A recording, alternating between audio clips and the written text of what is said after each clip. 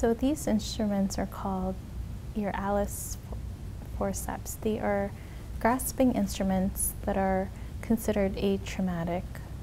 They are used to grasp tissues such as your uterus or your uh, bowel. They come in different sizes, as you can see here. They come in the short and the long um, size.